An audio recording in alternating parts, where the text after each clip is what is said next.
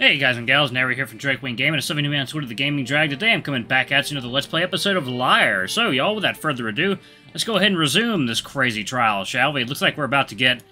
Whew, we're about to get a, a little heated here, possibly. Anyway, alright. Your punishment will be decided later. Though, looking at your face, I'd say you already got your punishment. As unwarranted as it was. Continue. Lyle turns and looks down at me before continuing. Eden said that assuming this dagger would be forged... Eden said that assuming that assuming this dagger would be forged and bought in a place like Lear, like Lyre and Erin is a very common mistake. The origin of this dagger, however, is Driss. Surprisingly, the crowd behind us is silent, listening to what he has to say. Typically paired with thrusting swords, this dagger can also be used by itself in grappling. Kadaj lets out a scoff, but Lyle ignores him. Thrusting swords were invented in Lyre and became exceedingly popular in Northern Erin. However, that does not rule out the fact that a Rondel dagger could come from Driss. That is the case with this dagger. How can you tell? It looks very plain to me. The guard and pommel of this dagger is made of erinamite. It's not gold. The crowd breaks the silence and begins to spread whispers throughout the room.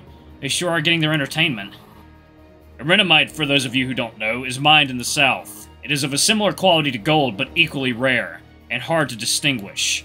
He draws his sword from the sheath on his back and holds it out to the crowd.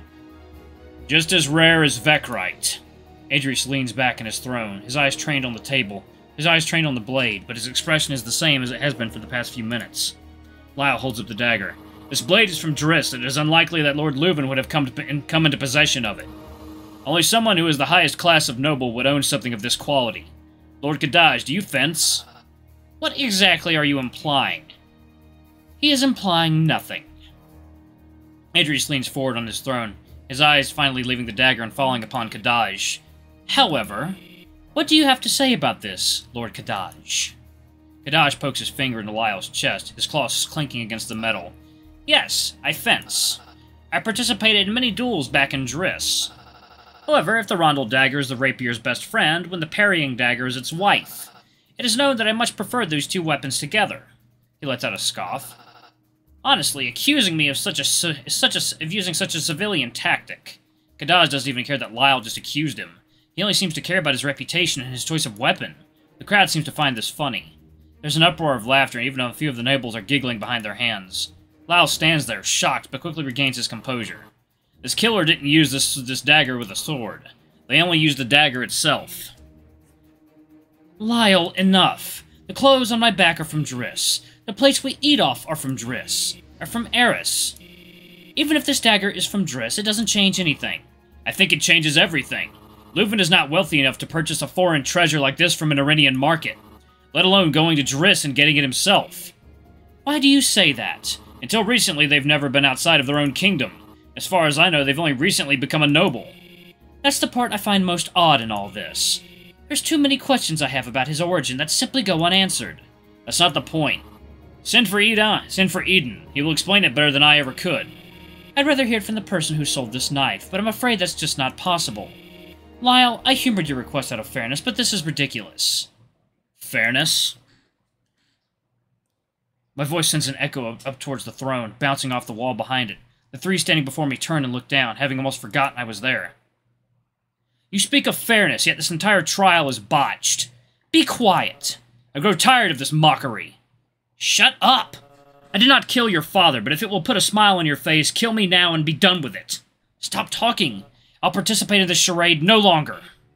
Silence! Adrius yells this, his words bouncing off the walls, and the entire audience silent in his silent as the grave. Lyle's looking down at me, shocked and nervous. He then dons a face of disappointment. Kadaj was shocked at first, but now seems to be studying the scene as it plays out. Both of you, both of you return to your places. One second, y'all. Water time. Oh, damn, son, this is getting good. Kadaj begins to walk over, returning to his seat. Lyle stands there for a moment, before reluctantly taking his position among the guards. Before Kadaj can return to his seat, I call out to him. He once asked me where my allegiances lie. Adrius jolts his head in my direction, but says nothing to stop me. Where do yours lie? Kadaj stops walking, standing in place. His tail swishes from side to side before turning around to look at me. With Tigran, Luvun. As he takes his seat, Adrius begins talking as if nothing had happened. There's one more individual I would like to question before anyone gives their verdict. Who else who else could he possibly bring up? If I recall, that's everyone I interacted with that night. I call upon the servant, the one who tended to Lord Luvun the night of the solstice. What? What could he possibly contribute to this? The servant stands up from their chair and begins to, to make their way over. I hadn't noticed him until now he was sitting towards the back. I might have noticed him when I entered the room if my mind wasn't already overwhelmed by everything else. At this point, I'm sure Adrius has already won. Why would he even need to go any further? Especially pulling a card like this. It makes no sense. Before I can come up with, the, with a conclusion myself, I look over at Lyle. Instead of facing forward like the rest of the guards, he turns his head in my direction. I can't really see his face behind his helmet, but I get the feeling that he knows what Adrius is up to. Badger walks up the side of the hall and takes their place in front of Adrius at the bottom of the second, second row of steps. They turn around to look at me, their expression neutral. I can't shake the feeling that something is wrong. Please state your name. It's Gerhard, your highness. Could you please describe the events of the night and what happened? Please be sure not to leave out any details. Adrius, this man was never questioned. What are you... Adrius turns to her, raising his hand. Please, continue. The servant bows low, swaying their arms up behind their back. Of course, your highness. I have been one of the servants tending to Lord Luvun for a while now. Of course, most of the time it doesn't really feel that way. You see, Lord Luvun rarely accepts the help of servants, leaving most of his tasks up to himself. Of course, it's not something I'm unfamiliar with. Your father was the same way. He glances back at me, but Adrius cuts in. Don't look at him. Just tell us what you know. Gerhard lowers his head and continues. I was asked to retrieve Lord Luvun for, the, for his meeting with King Raynor. Knowing he had already left the ball, I went searching for him in his quarters, but Lord Luvun was not there. Assuming he had, he had already known about the meeting, I guessed that he had already left for it. That was until I remembered his close relationship with Sir Reed. I figured I would go check with the good knight's quarters to see if he knew where Lord Luvun had gone. Adrius? Adrius shoots a look at Lyle, but Gerhard continues. When I arrived at the door, I heard something I believe I shouldn't have. At the time, I didn't really understand what I was hearing, but looking back on it, it all makes sense. Whispers about the king. What? That is not true! Quiet! If only I had figured it out then, but I foolishly brushed it off. I assume Lord Luvun was only talking with Sir Lyle about the audience he should have with the king soon. The other thing I found odd was the fact that Lord Luvun was with Sir Lyle in his own chambers. As his guard, it should, have, it should be known that Sir Lyle would accompany Lord Luvun to his own chambers. He was ill! Silence, Lyle. I did not wish to be rude by lingering outside the door for too long, so I knocked on it. It took a while for them to answer, and I heard whispers from the other side. Once the door opened, however, I... How should I go about this? Lord Luvun was standing before me with mussed clothing and hair. Sir Lyle, however, was practically naked when I caught a glance at him through the doorway. Several people in the crowd gasped, and a few of the nobles scoff and groan at hearing this. That feeling I had in the ballroom is starting to come back. The embarrassment, humiliation, Look to my left and see Liz with her face in her hand. It was quite a sight. Why is this servant lying about me? It be that they're the killer? No, that doesn't make any sense. But don't tell me they actually... Second, y'all. Water time.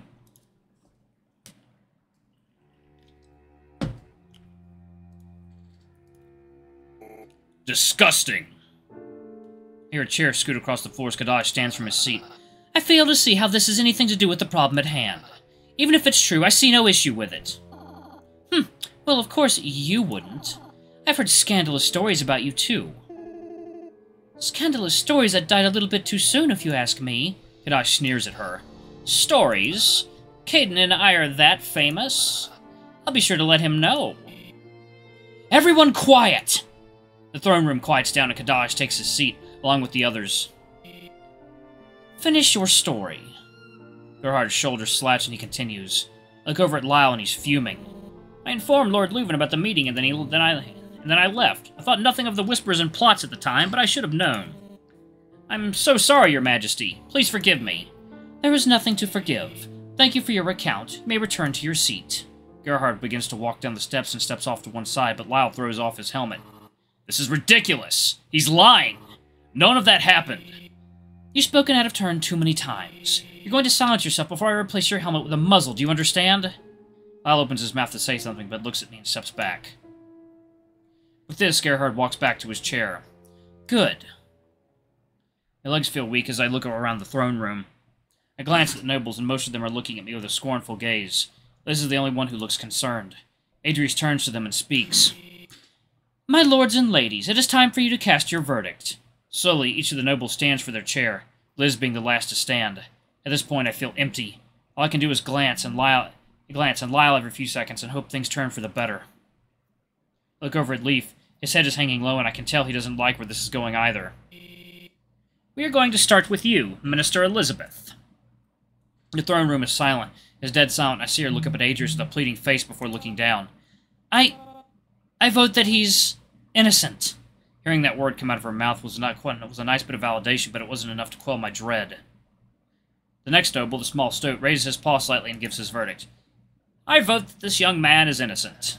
There's clearly something more sinister at play here. I mean no offense toward your late father, your majesty, but please consider this a possibility. Another innocent verdict. Adrius glares at Lord Braden, but makes no move for a rebuttal. He has this look on his face like he knows with absolute certainty what the results will be. Even if he doesn't, I don't know what his answer will be. Even if he doesn't, I know what his answer will be. I have a feeling I know what the other nobles' verdicts are, too. That feeling has poisoned my stomach, and I have a feeling it will kill me with the final vote.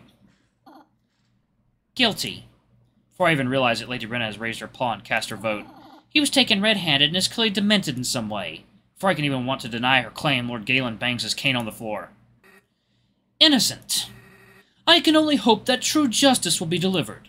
He looks at Adrius as he says this, his long beard swaying with each word. It is what your father would have wanted. Another lord who thinks I'm innocent. Guilty. Guilty. Two more votes.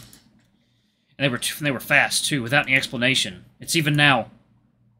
Lord Grimdal stands from his chair, the seat scooting back as his large body rises into the air, towering above all. I vote this boy guilty. I feel my air leave my lungs as my chest tightens. Three votes, three voted innocent, four voted guilty. I fall to my knees and look down at the ground. No! I hear Lyle let out a faint groan across the steps, but it sounds muffled. In fact, my ears are ringing, my entire body feels a bit numb. One second, y'all.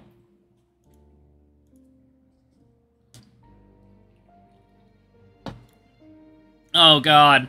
He didn't do it, you! I hear Lyle begin to run up the steps, but I see two guards rush him down and grab him by the arms. Nobody says anything at first. All that can be heard is armor grinding against armor and Lyle's grunts. Lyle, I will have you removed from this room if I hear another word out of you. Do you understand? He says this in a cold voice. I've never heard him speak like that. I just keep looking down at the ground, hoping everyone will just forget about me. Maybe Adrius will just throw me in a cell for a long time.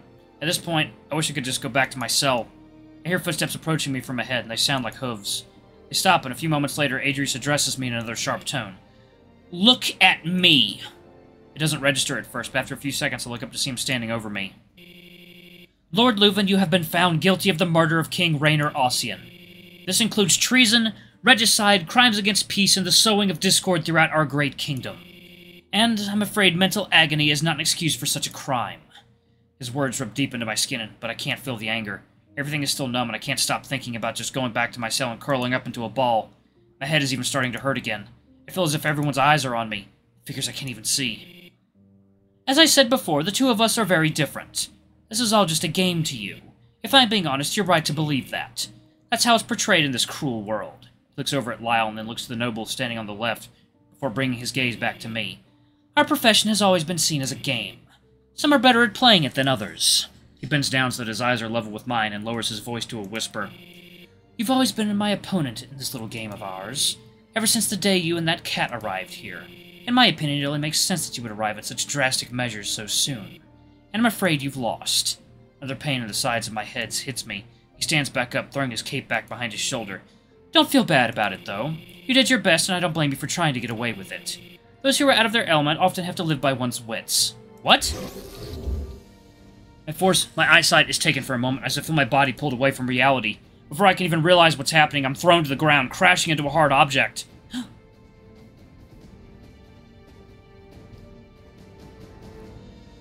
I can do is cough and sputter as my body slumps against the wall behind me. Fear, anger, shock, and sadness. These emotions overwhelm me on a scale I'm not even capable of comprehending. Or maybe I'm just numb to it. Tears rush down my face and I can taste blood in my mouth. The back of my head carries an immense pain, and one of my arms feels limp. The other arm is clasped is clasped on my stomach, blood pumping out of the fresh wounds and seeping into my clothes. The thick crimson substance floods out between my fingers, staining the golden brown fur. Standing over me is him, a figure clad in a dark leather cloak, brandishing a slender and vicious dagger dripping with blood. His garb is also covered in blood. No! The unbearable pain, I catch a glimpse at their face only for a split second. Ugh. Eh. Raynor coughs up blood and reaches out a hand, the arm shaking and weak. But please! The figure kneels down, swatting the hand away. The hand Raynor was extending to his son. Yep, I knew it! Fucking knew it! You little son of a bitch! Adrius! He leans in, pushing Raynor's head back his, by his antlers and drags the knife across his neck. It cuts deep and it feels just as real as last time. The pain is awful and I can feel my grip on reality fading. How did this happen, though? And where are the where are his antlers? He had already grown them back by that point, right? No, this isn't possible. He wasn't there. He wasn't... As Adrius lets go of Raynor's head, it slumps back into its recent position and Raynor looks up at him. Adrius looks angry, but scared at the same time. His eyes are wide open, I can't get an accurate read on his expression. It's like he's conflicted or lost. Fuck! No, alarm, Laurumchan, shut up! Gritting his teeth and looking back with regret? No. He's just a coward. S a weak, spineless coward. It's confusing and the pieces aren't all there. This has to be a sign from Tigran. I know Adrius did it. I know it my bones. As the life leaves Raynor's body, I can feel all the anger and hate from the past weeks rushing into my own.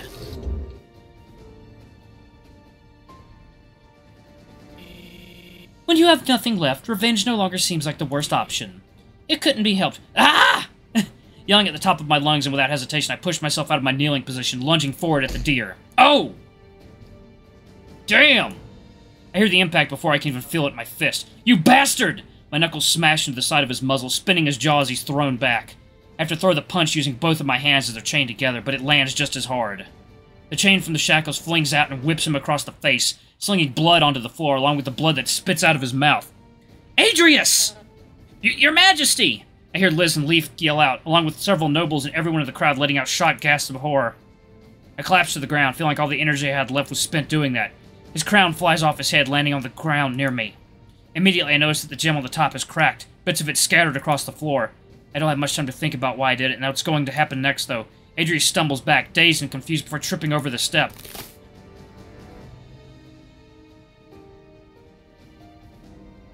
Holy shit! Adrius! Oh my god! I try to rise into a kneeling position and look up at what made that sound. As I get on one knee, two guards tackle me to the ground, forcing me onto my knees. Even with the force of two men pushing me down, I still managed to glimpse what I had done. Adrius is, prop is propping himself up against the stairs, eyes full of shock.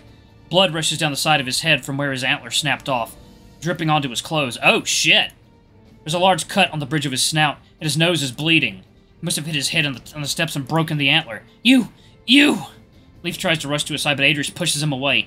Get away from me! He looks at me, his eyes filled with rage. I never seen them like this. I never seen him like this. Arrest him! Arrest him now! Take him back to his cell where he can rot! He's the one who did it! Lyle, I was right the first time! He killed him! He... I feel a guard's arm wrap around my head as they try to gag me. Lyle! I look around the room, but I don't see him anywhere. Liz and Leif are standing there shocked, Leif slowly inching toward Adrius trying to help him. It was him! Adrius... The king shoves what I think is a rag into my mouth. The guards pulling on both sides and tightening it. The nobles are rushing to Adrius' side, and the crowd behind us is in, is in commotion. I hear people running around, adding more to the chaos. Adrius, please! Let me... Where's Lyle? This comes out as a whisper, and I almost pick up a hint of fear in his voice, as not knowing where Lyle is. Where is that dog? I want him put down now! Where is he? Don't just stand around, find him! Liz, have the gates to the city closed! Nobody is getting in or out until that mutt is found! The two guards lift me and start to drag me out of the throne room. Your head will rot in the dirt, bastard! Everything feels like it's moving in slow motion. All I can do is watch as the chaos ensues. Let go of me! I try to wriggle out of my... wiggle out and stop, and stop the guards, but as soon as I do it, one of them brings their fist back and slams it into my face.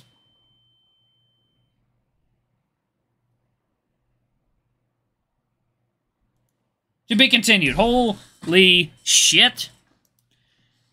Oh shit, and y'all were not fucking joking with that twist. Oh my god. Holy shit. Alright, y'all. Um, thank you all so much for watching. Don't forget to like, comment, subscribe, ring that notification bell, leave a super thanks or a tip if you can. It always helps. I gotta watch a movie with my parents. Anyway, y'all, I love you all. I'll see you next time. Bye-bye.